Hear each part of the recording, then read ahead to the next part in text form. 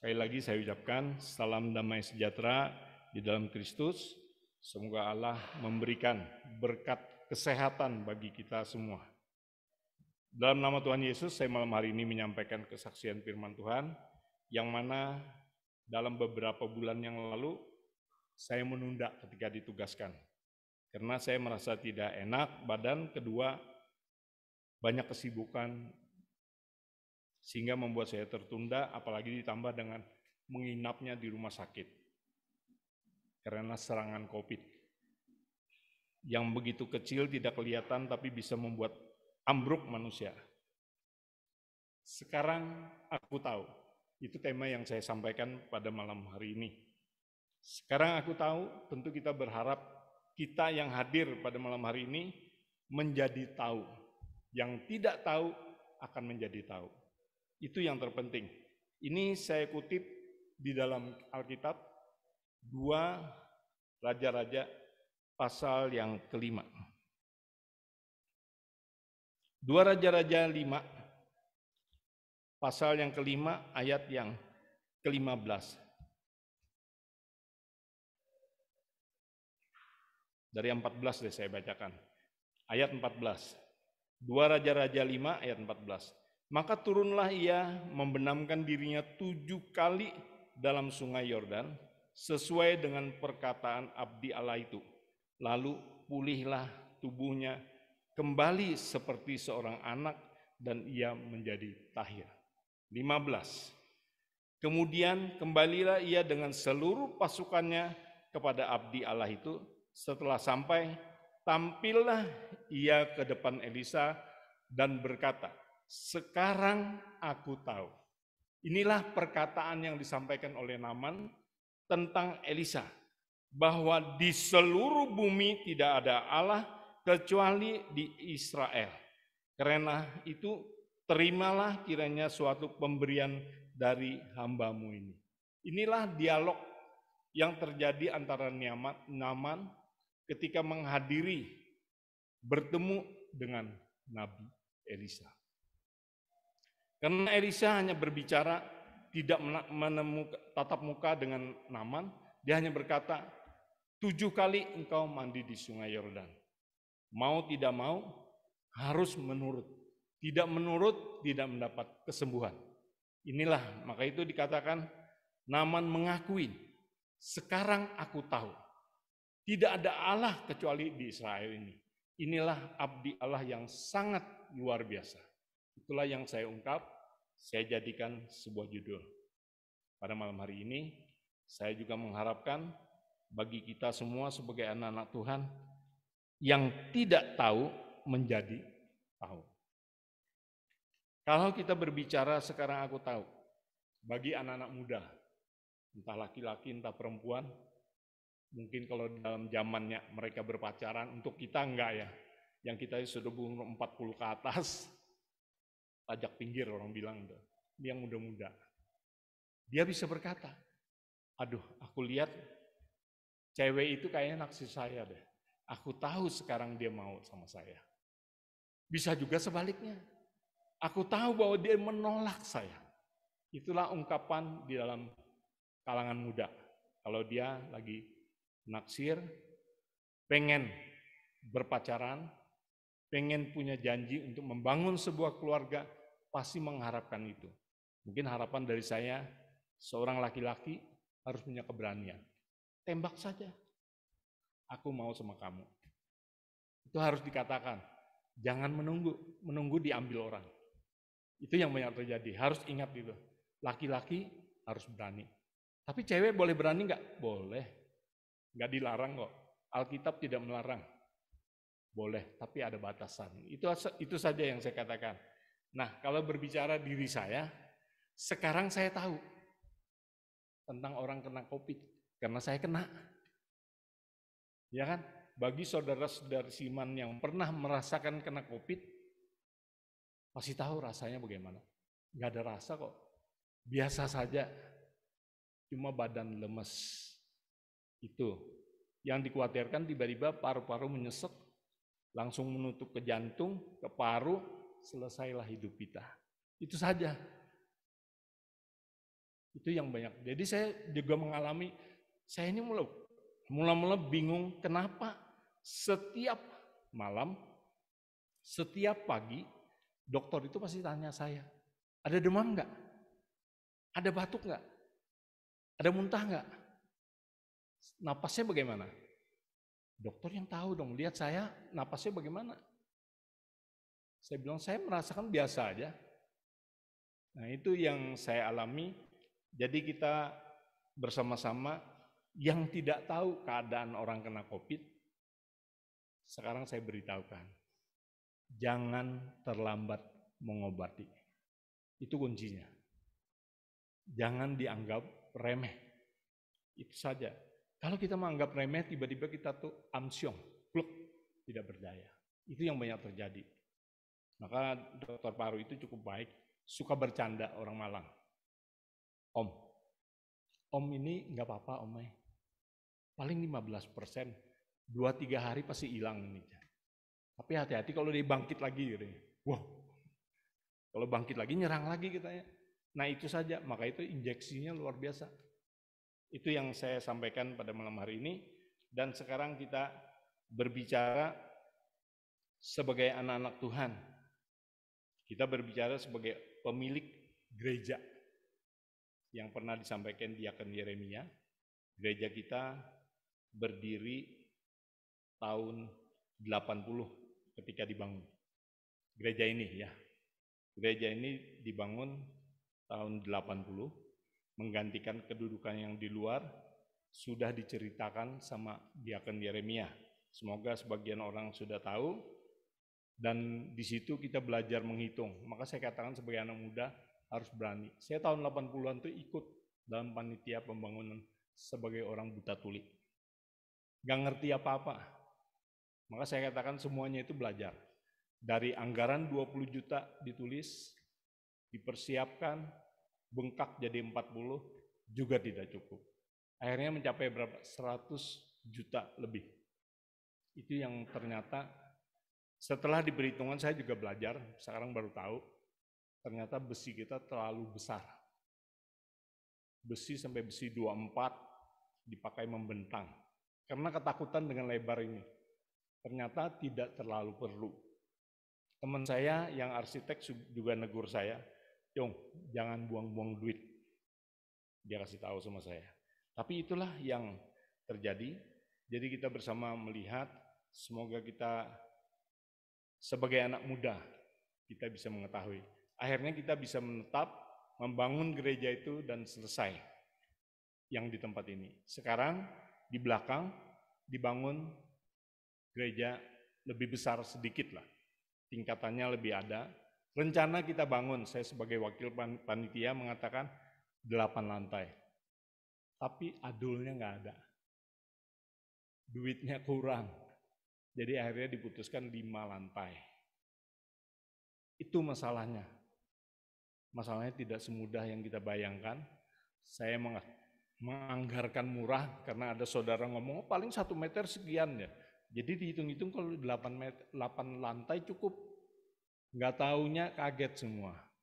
Itu yang sedikit saya katakan. Jadi sebagai anak muda, kita bersama berdoa. Semoga bisa lancar pembangunan itu.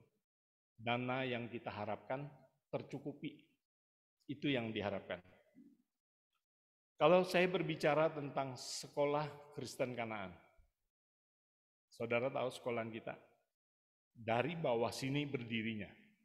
Aula bawah jadikan tiga kelas. Tahun 1992. Ketika saya tanya istri saya, kapan sih mulai sekolah Kanaan tuh? Saya ada tapi lupa, tidak mencatat. Mungkin benar 92. Pertama membuka sekolah saudara-saudari supaya tahu. Jadi sekarang akan tahu. Semua digratiskan. Penerimaan gratis. Satu hari orang daftar cuma tiga orang. Ini bisa jadi buka apa enggak? Saya tanya Ibu Selfie. Itu ada Ibu Selfie, penggagasnya. Kalau muridnya 10 orang, boleh buka. Waduh. ya, tapi bersyukur loh. 3-4 hari ada 20 orang. Itulah yang saya ungkapkan. sampai kita menyambung ke sebelah dan menjadi besar.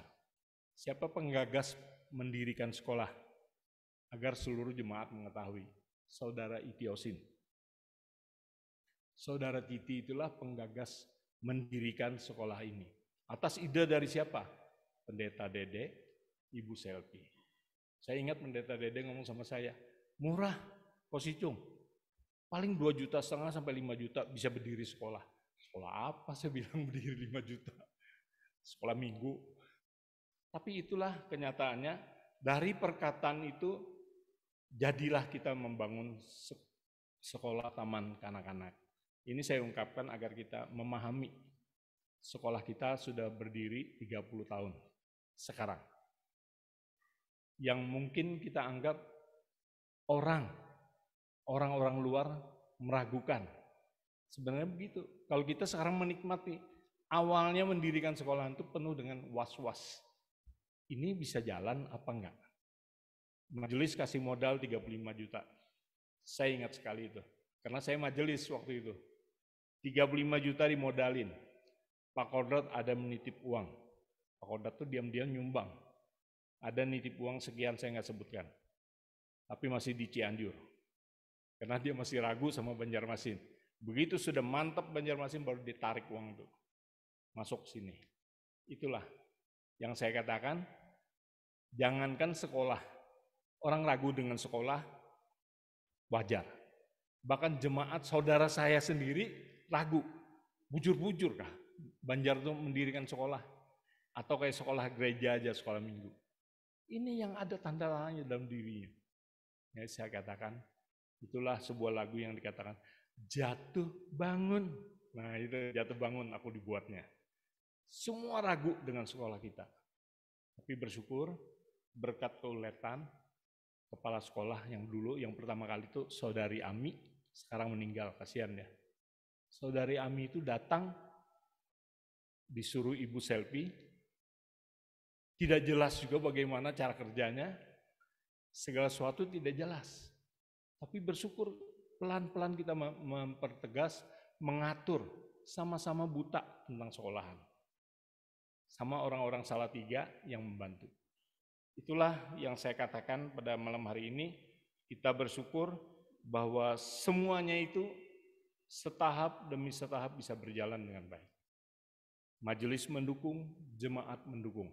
Cuma jemaat kadang-kadang, maaf saya bicara, terlalu berlebihan dukungannya sudah mendukung terlalu berlebihan, menuntut kita jemaat harus prioritas. Itu diubah ya. Mindset itu diubah. Jangan terjadi seperti itu. Semoga kita mendukung, mendukung benar. Saya katakan pertama kali sekolah kita berjalan berapa bulan, kita kantin nggak punya. Dan kantin kita tidak dipercaya orang. Tapi bersyukur, Tati Asyu dengan saudari Mimi mencari agen-agen kue. Gak mau nitip, lu ambil bayar. Gak habis, lu habisin sendiri. Nah itu awal mulanya kantin. Jadi kita tuh jemaat kalau nggak habis ditawarin, lu mau ambil nggak? Ambil nggak? Ambil modalnya. Itu awalnya berjalan kantin. Kalau sekarang kantinnya mantep. Bahkan mau rebutan, tapi bersyukur Banjarmasin masih aman. Saya berharap tidak terjadi seperti sekolah kanaan di lain. Inilah yang beberapa hal. Sekarang saya kembali ke Alkitab. Sekarang aku tahu. Kita buka kembali satu Raja-Raja pasal 17. Kita kembali ke Alkitab. Nanti saudara dengan cerita saya parah. Satu Raja-Raja 17. Ayat yang terakhir. 24. Satu Raja-Raja 17, pasal 17 ayat 24. Kemudian kata perempuan itu kepada Elia. Tadi Elisa, sekarang Elia. Sekarang aku tahu. Yang dikatakan dia kembali. Sekarang aku tahu bahwa engkau adalah abdi Allah dan firman Tuhan yang kau ucapkan itu adalah benar. Jadi kalau kita mengetahui bahwa dia tuh hamba Tuhan yang benar, abdi Allah yang benar, apa yang diucapkan itu benar. Benar-benar terjadi. Ini yang dialami perempuan. perempuan yang dikatakan janda yang beranak satu. Yang pada waktu itu dimintain untuk memberi makan seorang abdi Allah yang bernama Nabi Elia. Inilah yang terjadi. Jadi dia tuh dengan keraguan-raguannya, siapa orang ini? Kenapa harus minta sama saya? Apa urusan saya sama dia? Tapi dia setelah menjalankan apa yang telah terjadi di dalam proses yang seharusnya dia mengalami kematian, tapi ini baru dia merasakan mujizat itu terjadi di dalam kehidupannya. Dia merasakan, lalu dia mengakui di dalam satu Raja-Raja 17 ayat 24 itu. Sekarang aku tahu, itu yang diungkapkan dia. Bahwa dia adalah abdi Allah. Ini satu ungkapan yang nyata dari seorang janda. Dikatakan bahwa dia mengakui sebagai abdi Allah karena pengalaman yang dia hadapi. Sama dengan Naman. Naman juga mengalami diperintahkan mandi di sungai Yordan yang tidak begitu bagus. Airnya tidak bagus, tidak jernih, mungkin lebih bersih sungai Martapura. Dia disuruh mandi dan dia lakukan. Akhirnya mengalami kesembuhan. Jadi pengalaman membuat dia tahu. Itu yang dirasakan. Dan saya percaya kita sebagai anak Tuhan juga punya pengalaman masing-masing kepada Tuhan. Mengapa bisa terjadi demikian? Kita bersama melihat satu Raja 17 tadi, ayat yang ke-8. Satu Raja-Raja 17 ayat 8. Maka datanglah firman Tuhan kepada Elia 9 bersiaplah, pergilah ke Sarpat yang termasuk wilayah Sidon, dan diamlah di sana. Ketahuilah, aku telah memerintahkan seorang janda untuk memberi engkau makan. Kalau dipikir-pikir, firman Tuhan ini kepada Elia juga sesuatu yang janggal. Kenapa yang disuruh itu janda miskin? Tidak seperti perempuan Sunem itu perempuan kaya di dalam dua raja-raja pasal 4. Itu perempuan Sunam, kedatangan Nabi Elisa, dia sering melayani, bahkan di dalam dirinya menurut pengakuannya di dalam dua raja-raja pasal yang keempat, pasal yang keempat ayat 8 dan 9 itu dikatakan, Aku sudah tahu, nah ini beda kalimatnya, aku sudah tahu bahwa dia itu adalah abdi Allah. Dan enak, Elisa datang ke rumah seorang perempuan yang kaya, perempuan Sunem. Kalau Elia datang ke sungai Keri, sakit, disuruh memberi makan seorang janda. Jandanya bingung, hidup dia aja nggak pasti memberi makan seorang nabi. Ayat yang ke-10 dikatakan,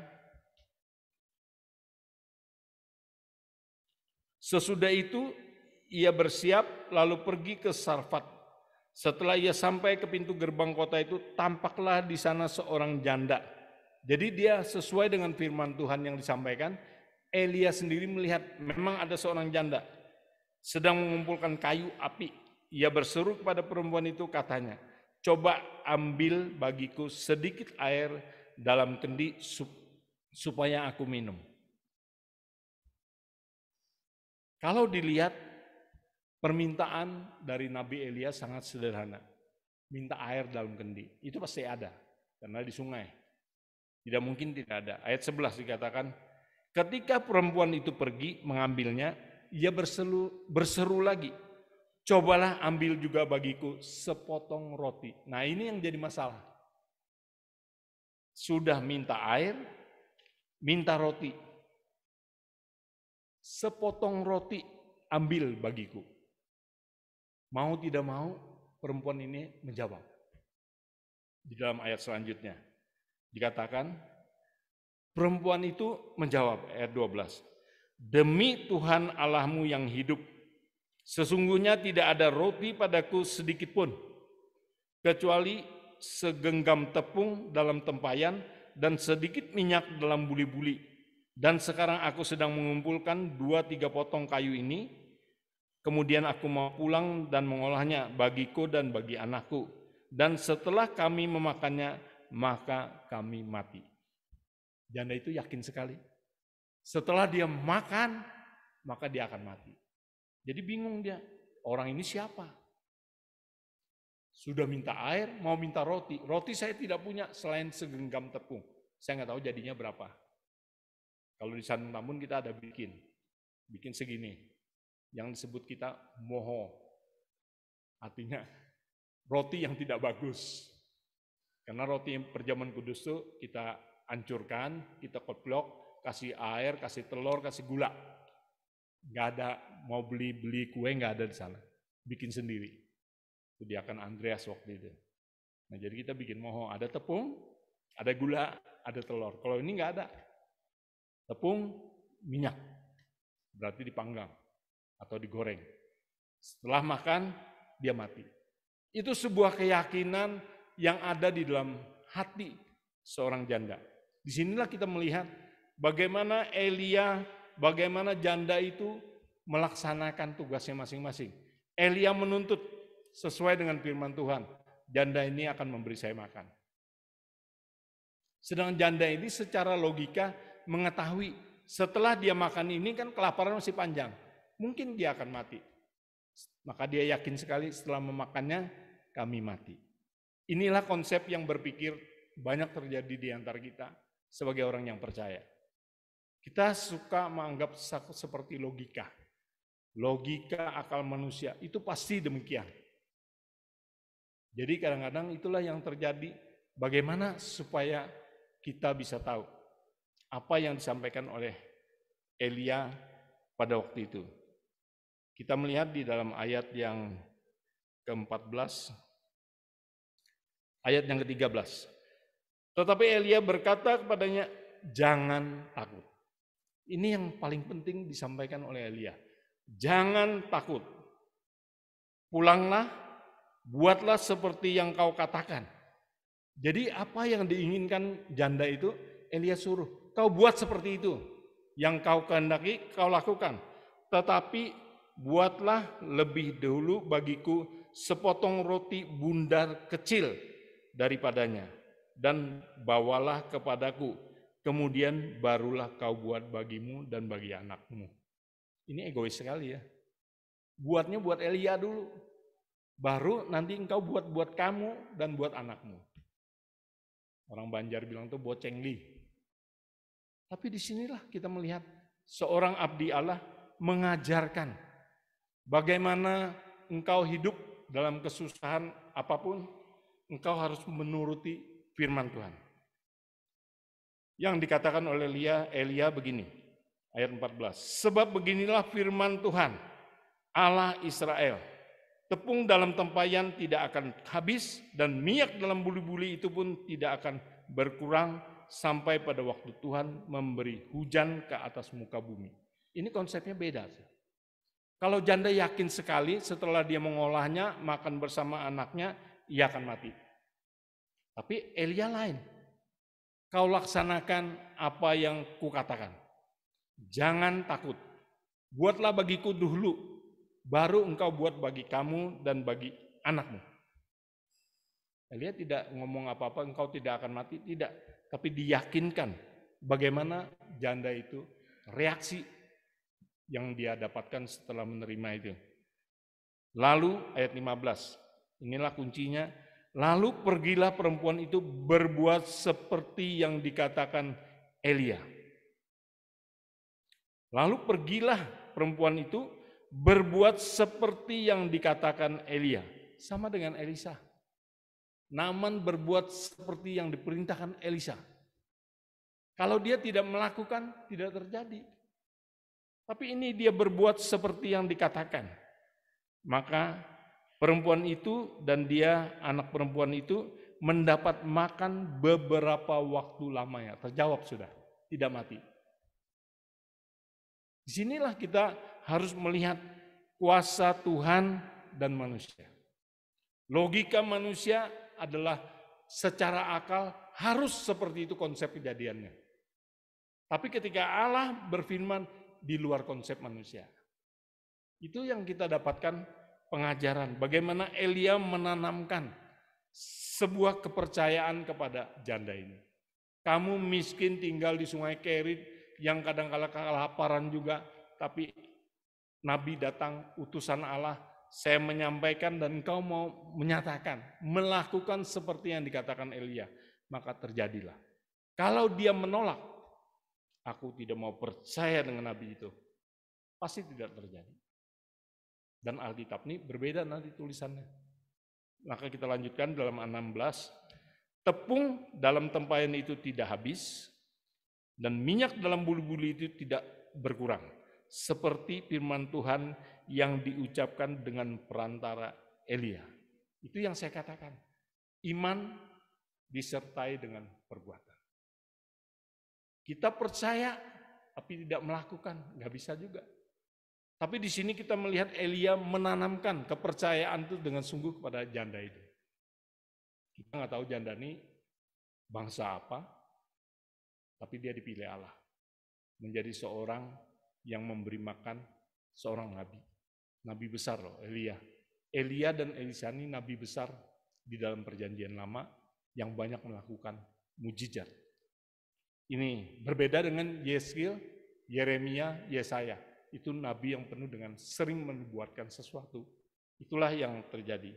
Nah, akhirnya Allah memakai Elia untuk menyadarkan janda itu percayalah kepada Tuhan sehingga mujizat itu boleh terjadi di dalam kehidupan. Apa yang dikatakan oleh penetua Yakobus? Yakobus pasal 1 ayat 22. Yakobus 1 ayat 22. Tetapi hendaklah kamu menjadi pelaku firman dan bukan hanya pendengar saja. Sebab jika tidak demikian kamu menipu dirimu sendiri. Jadi kita belajar dari sebuah peristiwa ini, seorang janda bisa melakukan sesuatu dipakai Allah dengan luar biasa ketika dia taat. Mau menjalankan apa yang disampaikan oleh Nabi Elia. Sekarang saya melihat bagian kedua. Bagian kedua kita belajar dari sebuah keluarga. Kita mungkin suka membaca tentang cerita Naomi. Naomi dan Ruth, mertua menantu. Ada satu lagi Orpah, menantu yang pertama. Itu sisa. Sisa yang masih hidup, yang tertinggal oleh suami Naomi dan kedua anaknya. Itu cerita di Ruth. Saya percaya kita baca dan kita pasti hafal cerita itu. Drama keluarga yang sangat baik. Itu yang harus kita belajar. Tapi malam hari ini saya mengungkapkan juga hal yang berbeda. Kita bersama-sama membaca di dalam Rut pasal 1. Rut pasal yang ke-1 Rut setelah hakim-hakim ya. Rut pasal yang pertama. Rut pasal 1 ayat yang keempat. Ini diungkapkan demikian. Keduanya mengambil perempuan Moab yang pertama bernama Orpah, yang kedua bernama Rut, dan mereka diam di situ kira-kira 10 tahun lamanya. Penulis tidak mengungkapkan berapa tahun berapa dan lain sebagainya. Hanya pada waktu itu diungkap kira-kira 10 tahun. Saya juga berpikir pada waktu itu, saya pikir penulis ini adalah Ruth sendiri. Siapa penulis kitab Ruth? Setelah diteliti di dalam sebuah buku ensiklopedi maupun tafsiran, penulisnya kira-kira ditafsirkan lebih condong kepada Samuel. Samuel yang menafsirkan, eh menuliskan cerita ini. Jadi di dalam ayat yang keempat dikatakan, keduanya mengambil perempuan Moab. Jadi bukan suruhan mertua, eh, suruhan orang tua, tapi dia mengambil perempuan Moab. Ayat 5, lalu matilah juga keduanya, yakni Mahlon dan Kilion sehingga perempuan itu kehilangan kedua anak dan suaminya. Ini sebuah kejadian yang sangat tidak enak. Ya, sebuah kejadian yang sangat tidak enak di dalam kehidupan.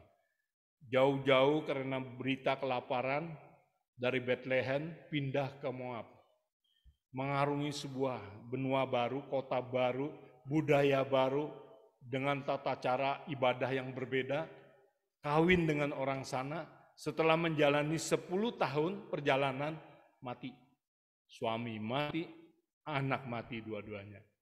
Tak tinggal minantu, di orang Banjar tak tinggal minantinya aja. Nah, ini yang kenyataan yang dialami. Banyak orang mengalami hal yang demikian. Ayat yang ke-6. Ayat yang ke-6 berkata, Kemudian berkemaslah ia dengan kedua menantunya dan pulang. Dan ia pulang dari daerah Moab. Sebab di daerah Moab ia mendengar bahwa Tuhan memperhatikan umatnya dan memberikan makanan kepada mereka. Jadi telinga Naomi masih bagus.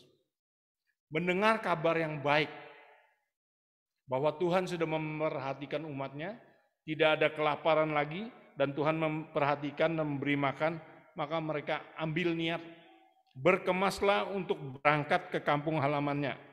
Maka dia berangkatlah ke kampung halamannya, di dalam ayat yang ke-8, berkatalah Naomi kepada kedua menantunya, ayat 8, Pergilah, pulanglah masing-masing ke rumah ibunya, Tuhan kiranya menunjukkan kasihnya kepadamu seperti yang kamu tunjukkan kepada orang-orang yang telah mati itu kepadaku.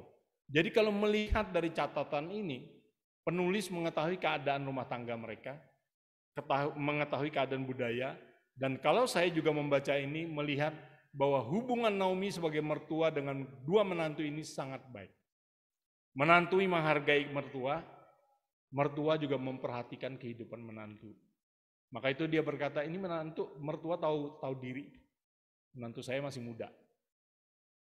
Perlu dicarikan pasangan hidup. Maka dia kata, pulanglah ke negaramu, ke bangsamu. Itu yang disampaikan. Jangan sampai kamu tidak pulang. Kamu tidak perlu ikut dengan saya.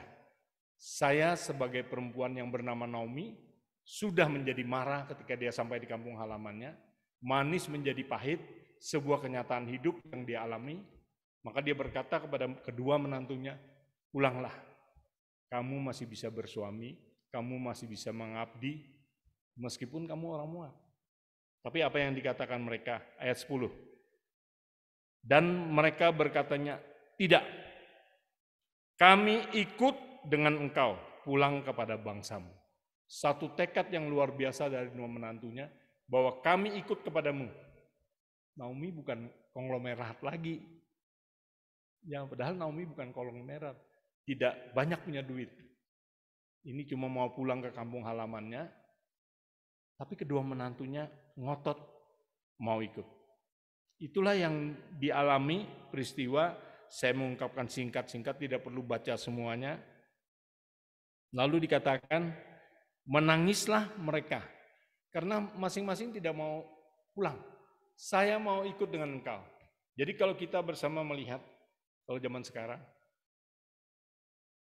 kalau kita melihat pasangan sebelah sudah meninggal, masih muda, ada juga mertua yang galak. Ini kujadikan budak. Ada juga. Tapi sekarang jangan coba-coba, menantu lebih galak. Iya, sekarang menantu lebih galak. Jangan main-main sama menantu. Ini yang kenyataan. Tapi bersyukur kalau kita sebagai anak Tuhan bisa melihat. Tapi saya melihat cerita ini acungan jempol untuk Naomi. Mertua bijaksana, lebih mengerti kepada orang muda, engkau harus menikah, membangun keluarga, bangunlah. Ini tidak berbicara aturan gereja. Aturan gereja repot sedikit. Tapi ini kematian suami boleh menikah ya. Hanya masalahnya orang muat. Jadi dilanjutkan apa yang dikatakan oleh Naomi kepada Ruth. Berkatalah Naomi, telah pulang iparmu kepada bangsanya. Ini yang dikatakan Naomi kepada Ruth. Karena si Orpa sudah pulang. Orpa mencium mertuanya terus dia pulang. Dia sudah merubah pikirannya yang tadi tidak kami ikut dengan kamu. Tapi sekarang berubah ada orang bisa berubah. Ada orang pendiriannya tetap. Ruth ini termasuk orang yang punya pendirian tetap. Kalau punya pegawai seperti Ruth ini sangat baik. Tidak gampang tergoda. Dia sudah katakan,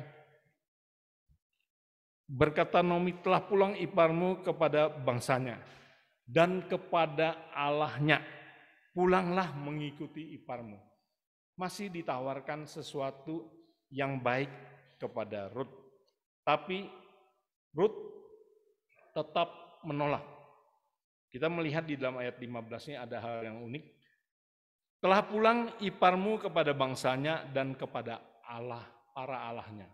Jadi di situ kalau saya melihat dari catatan ini, Ruth dan Orpa, menantu orang Moab ini, masih punya kepercayaan gaya daripada bangsa Moab.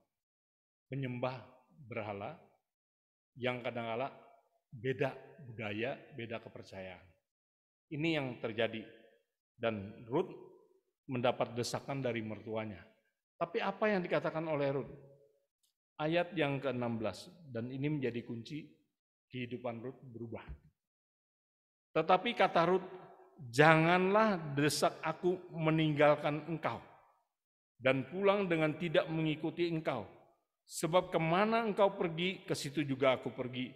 Di mana engkau bermalam, di situ juga aku bermalam bangsa mulah bangsaku dan Allah mula Allahku. Ini ubahan dia. Dia tidak mengikuti Allah Moab. Engkau percaya dengan Allah kamu, saya ikut. Berarti Ruth punya mata yang bagus. Mata dia melihat mertuanya, mata dia melihat bangsa mertuanya baik. Punya Allah yang benar.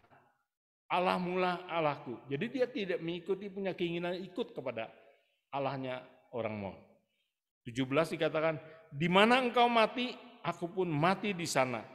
Dan di sanalah aku dikuburkan, beginilah kiranya Tuhan menghukum aku, bahkan lebih lagi daripada itu jika sesuatu apa pun memisahkan aku dari engkau, selain daripada mau.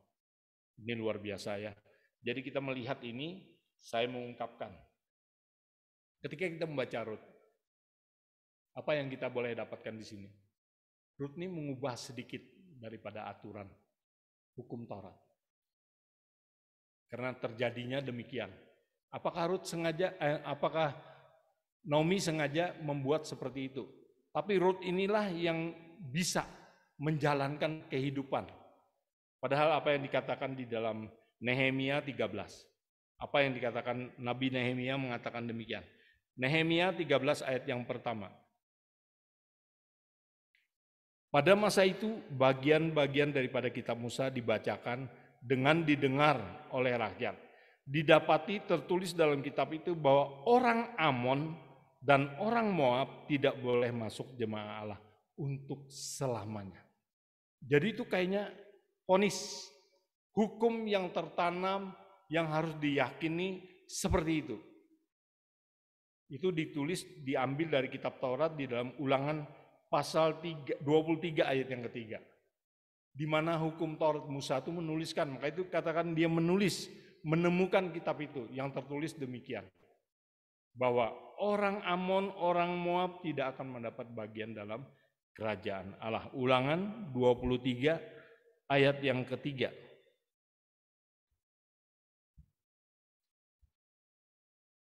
Orang Amun, orang Moab, janganlah masuk jemaat Tuhan, bahkan keturunannya yang ke-10 pun tidak boleh masuk. Tidak boleh masuk jemaat Tuhan sampai selama-lamanya. Makanya kita berpikir, kenapa Ruth, anu Naomi mengambil menantu itu? Menantu orang Moab. Yang jelas-jelas ada hukumnya di dalam Nehemia. Kita diajarkan untuk berpikir, kalau saya sangat mudah saja, situasi kondisi. Kondisinya seperti itu. Keadaannya seperti itu. Kalau Mahlon sama Kilion tidak kawin, mungkin dia jadi penjina. Lebih parah lagi. Itu satu. Kedua, situasi kondisi tidak ada orang yang lain. Hanya bangsa Moab ini aja yang ada. Mungkin itu menjadi satu keputusannya.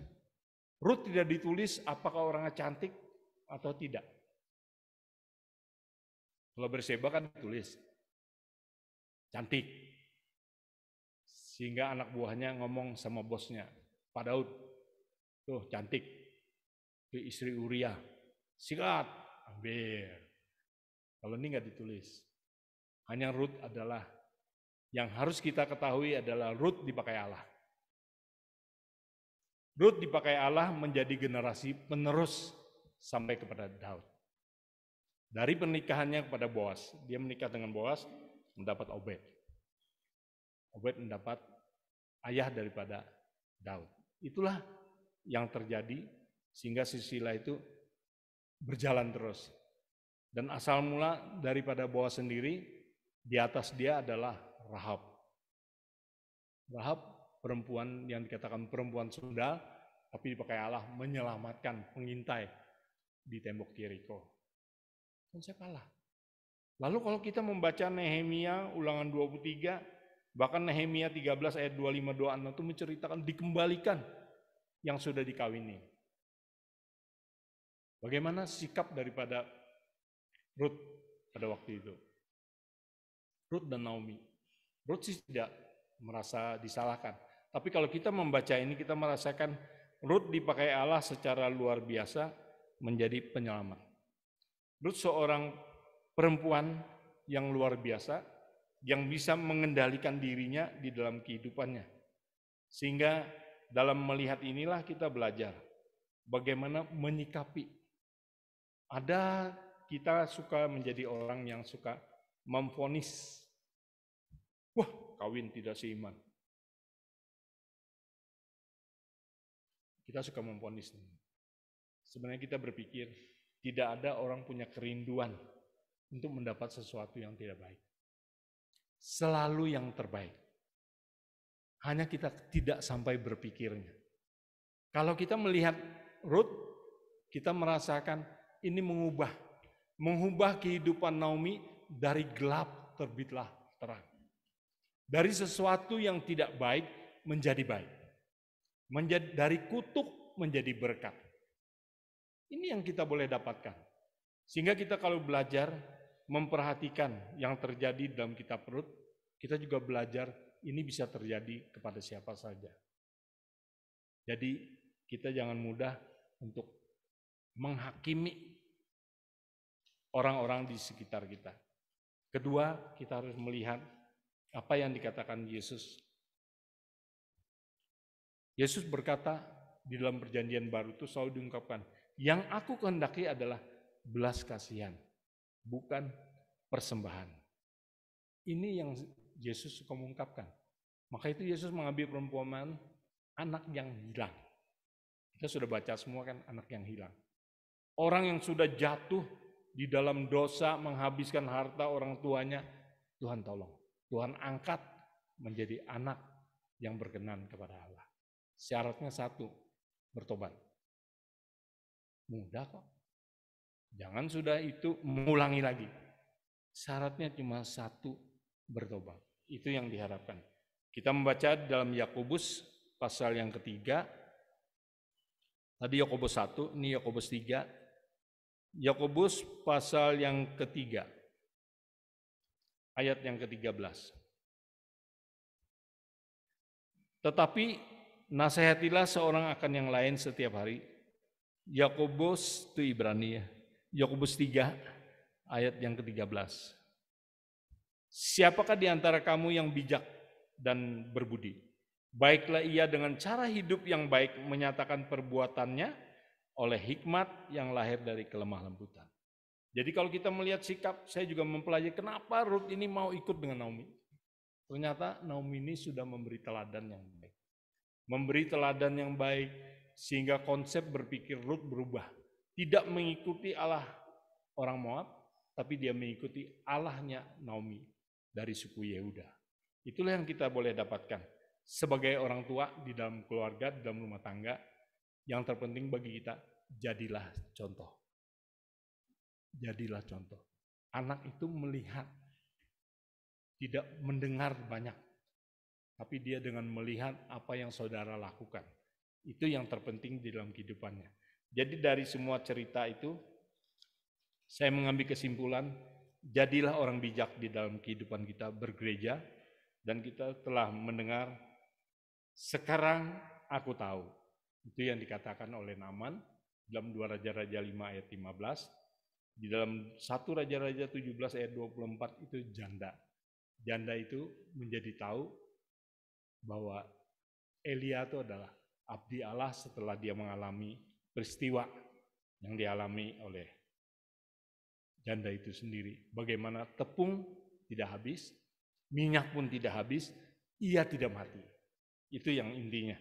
Di dalam dua Raja-Raja 4 ayat yang ke-9, perempuan Sunem, kalau perempuan Sunem ini orang kaya, jadi tidak masalah. Sekarang aku sudah tahu. Dari dulu tuh aku sudah tahu bahwa dia itu adalah abdi Allah. Jadi ini yang saya lihat dua perempuan, perempuan Sunem ini matanya juga hebat.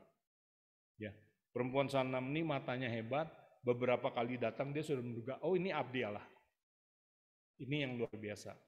Maka itu kalau ayat selanjutnya kita baca, dia mendapat hadiah anak. Itulah yang kita dapatkan pada malam hari ini. Semoga kita bersama-sama bisa belajar membaca Alkitab dengan baik, menafsirkannya dengan baik. Kalau tidak paham boleh tanya dengan hamba Tuhan. Hamba Tuhan akan memberikan penjelasan. Kiranya nama Tuhan dipermuliakan. Amin.